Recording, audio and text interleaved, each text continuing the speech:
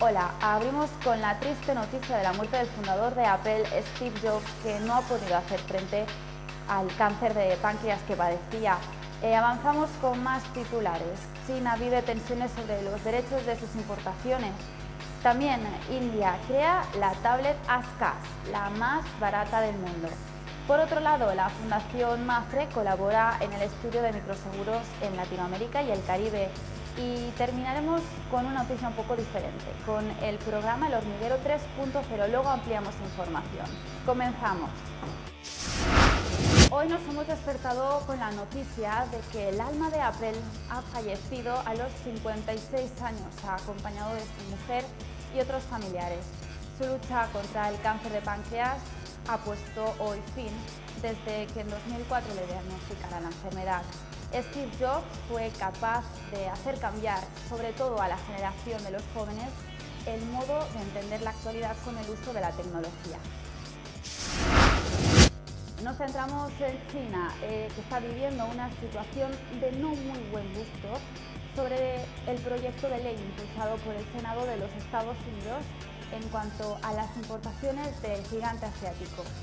Para que llegue a convertirse en ley tendría que ser aprobado por la Cámara de Representantes y luego ser firmada por el presidente estadounidense Barack Obama.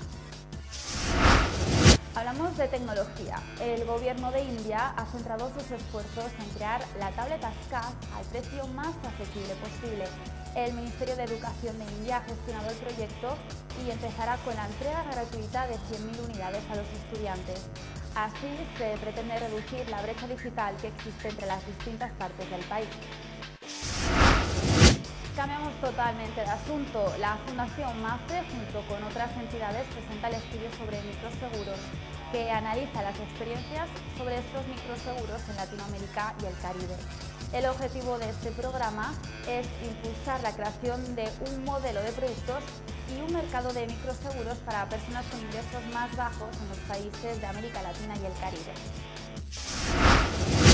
Y nos despedimos con una noticia que tiene que ver con el entretenimiento. Como hemos avanzado nada más empezar el informativo, nos referimos al programa El Hormiguero 3.0 presentado por Pablo Motos, que iniciará una nueva andadura por el continente asiático. Las hormigas blancas y barrancas tendrán que plantearse estudiar chino porque una productora de China ha comprado los derechos del programa que emite Antena 3 por dos temporadas. Nada más, tienen más información en nuestra página web globalasia.com.